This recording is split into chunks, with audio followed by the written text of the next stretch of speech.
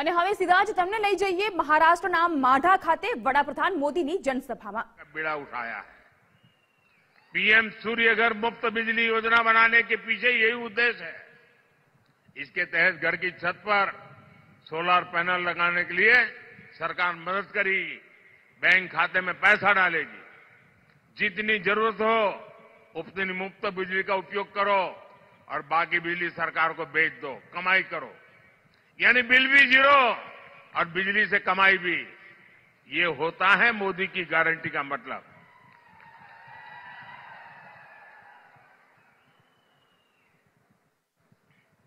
भाइयों बहनों, विकसित भारत बनाने में देश की नारी शक्ति की बहुत बड़ी भूमिका है।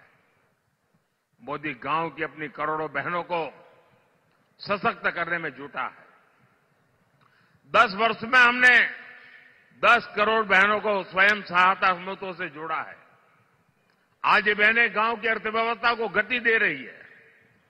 हमारे प्रयासों से कुछ समय के भीतर एक करोड़ बहनें लखपति दीदी बनी है। आंकड़ा बहुत बड़ा है। एक करोड़ बहन- मेहनत करके, कमाई करके लखपति दीदी बनी है। और अब मोदी ने गारंटी दी है कि मैं तीन करोड़ बहनों को लखपति दीदी बनाऊँगा। और तभी तो हिंदुस्तान कोने कोने से हर माँ, हर बहन, हर बेटी एक ही बात कह रही है, फिर एक बार, फिर एक बार, फिर एक बार, भाइयों और बहनों, भाजपा के इन प्रयासों के बीच आपको कांग्रेस की एक्सरे मशीन के सावधान रहना है। कांग्रेस के नेता, कांग्रेस के साझादे गली गली में घूम करके कह रहे हैं कि उनको मौका मिलेगा तो वो आपका एक्सरे निकालेंगे। आपके लॉकर में क्या पड़ा है? आपके बैंक में क्या खाते में पड़ा है? आपके घर में कितना सोना पड़ा है? कितने पैसे पड़े हैं? ये सारा उसका हिसाब किताब लगाएँगे। और फिर कहते हैं वो हम बांट देंगे, ज़्यादा जो है ले लेकर के बांट देंगे। इतना ही नहीं, वो एक ऐसे टैक्स की बात कर रहे हैं। आज आप हर माँ बाप मेहनत करके कुछ न कुछ बचत करता है। अपनी ज़रूरत को कम करके बचत करता है।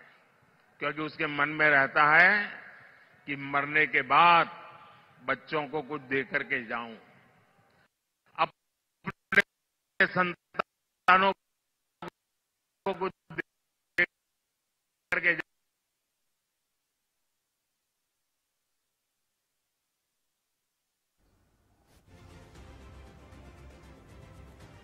મહારાષ્ટ્રમાં વડાપ્રધાન નરેન્દ્ર મોદી દ્વારા ધુમાધાર પ્રચાર કરવામાં આવી રહ્યો છે અને માઢામાં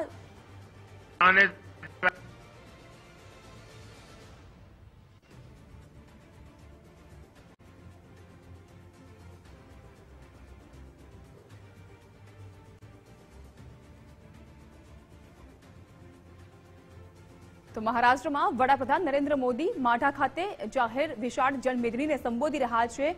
અને સંબોધન અંતર્ગત તેઓ ઇન્ડી ગઠબંધન હોય કે પછી કોંગ્રેસના શાસનકાળ દરમિયાન જે પ્રકારની રાજનીતિ અપનાવવામાં આવી હતી, તેને લઈને પણ આકરા ચાપખા મારવામાં આવી રહ્યા છે અને અત્યારે કોંગ્રેસ દ્વારા પ્રચાર અંતર્ગત કેવા પ્રકારના વચનો આપવામાં આવી રહ્યા છે અને કેવા પ્રકારની વાતો કરવામાં આવી રહી છે, તેને લઈને પણ તેઓ કોંગ્રેસ ઉપર નિશાન સાધી રહ્યા છે.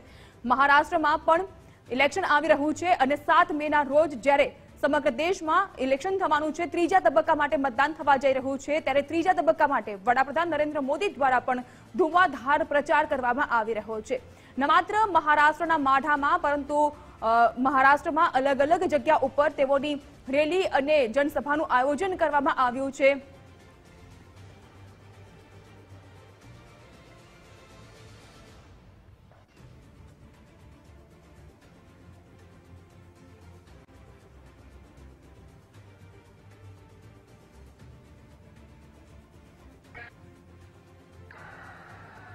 अब मुझे बताइए भाई, कि अंग्रेज़ों के जाने के बाद, देश आज़ाद होने के बाद, पहले ही दिन राम मंदिर का काम शुरू होना चाहिए था नहीं होना चाहिए था?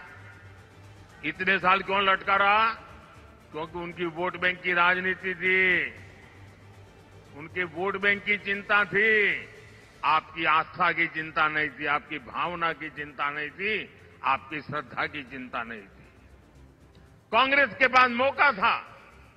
लेकिन कांग्रेस ने इस पवित्र काम में सिर्फ़ रुकावटें पैदा की। जिसकी राम में आस्था होगी, वह ऐसे काम कभी नहीं कर सकता। कांग्रेस की राम में न आस्था है, और ही उसके पास ऐसा एहसास है। और उनके सारे चेले चपाटे भी यही है। ऐसा काम कोई डरी हुई पार्टी नहीं कर सकती। तुष्टिकरण के दबाव से गिरी हुई पार्टी नहीं कर सकती ऐसा करने के लिए जो साहस चाहिए होता है, वो साहस मोदी ने दिखाया है। और डंका की चोट पर 500 साल का इंतज़ार खत्म हो गया, राम मंदिर बन गया। और ये कहते थे राम मंदिर बनेगा तो आग लग जाएगी। कोई आग लगी क्या? मंदिर बना कि नहीं बना? और भाइयों बहनों 500 साल के बाद जो सपना पूरा हुआ है ना, उसका कारण आपका एक वोट है। आपके वोट की ताकत है जिसने 500 साल के इंतज़ार को खत्म किया है। इस पुण्य के हकदार आप हैं जिनके वोट की वजह से पवित्र काम पूरा हुआ। भाइयों और बहनों, आपका वोट मज़बूत भारत के लिए, एक मज़बूत सरकार बनाने के लिए पड़ना चाहिए। अब मुझे बताइए, जिनके पास कभी 400 एमपी हुआ करते थे, वो पार्टी आज 250 पौने 300 लोगों को चुनाव नहीं लड़ा पा रही है। अगर सरकार बनानी हो तो दो सौ तो सीट चाहिए भाई। वो इतनी लड़ा नहीं रहे। तो सरकार बनेगी कैसे? जीतेंगे कैसे? और इसलिए जो सरकार बनाने के लिए लड़ ही नहीं रहे हैं तो उनके लिए आपका वोट बर्बाद करने की ज़रूरत क्या है? और इसलिए मैं आपसे आग्रह कर रहा हूँ कि आप वोट दे करके सरकार को मज़बूत बनाइए। और आप जब वोट देंगे ना, वो वोट सीधा सीधा मोदी के खाते में जाने वाला है। सात मई को गर्मी कितनी ही क्यों न हो, पहले मतदान, फिर जलपान। मतदान किए बिना जलपान नहीं करेंगे। ये